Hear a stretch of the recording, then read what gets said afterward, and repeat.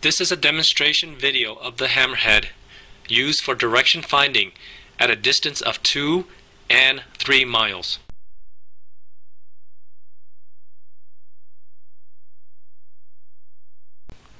A beacon was placed in the water attached to a buoy.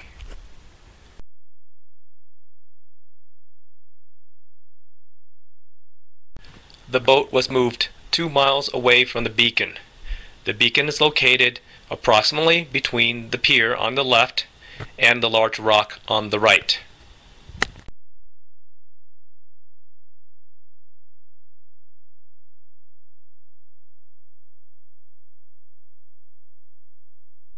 Due to the orientation of the boat, the beacon is slightly to the left.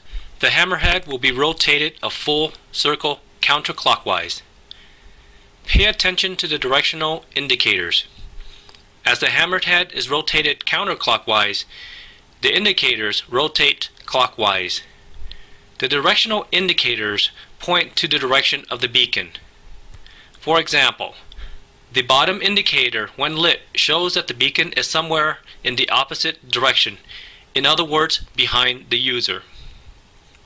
When the top indicator is lit, this shows that the beacon is directly in front. The most accurate indicators will be the top three.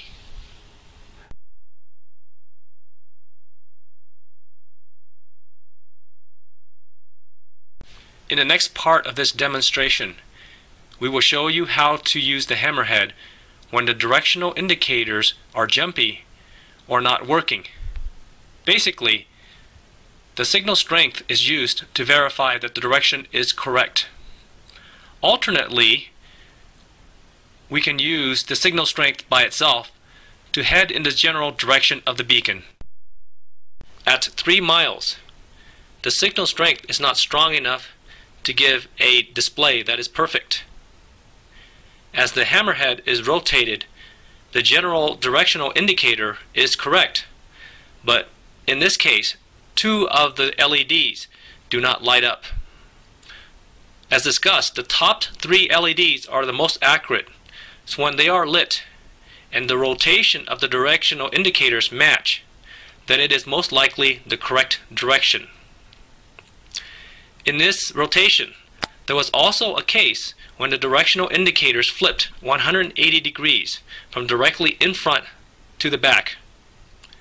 This is where the signal strength can be used to verify the correct direction. When pointed directly in the same direction as the top indicator, the signal strength reads 45. When pointed in the opposite direction, the signal strength drops to 41. This means that the original direction is the correct direction of the beacon. Assuming a scenario where the directional indicators do not work at all or is not to be relied upon. In this case, the signal strength mode can be used to find the general direction of the beacon.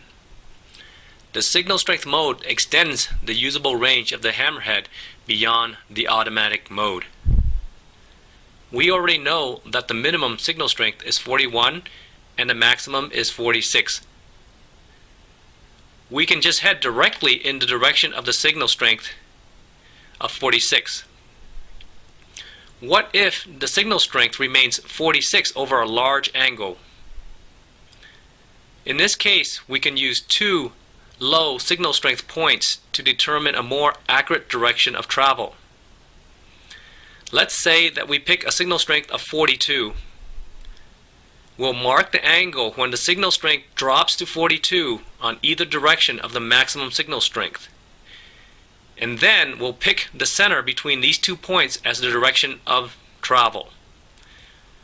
Note that even though the direction may not be as accurate as the directional indicators, Heading in the general direction will get you closer to the beacon. When you get close enough to the beacon, the automatic mode will start to work and you can rely on the directional indicators from there to get you to the beacon.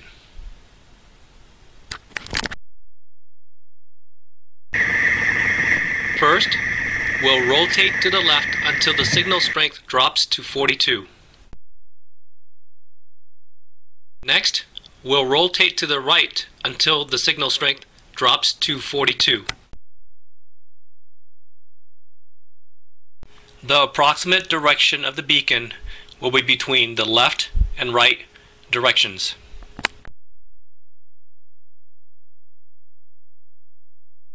Thank you for watching this presentation.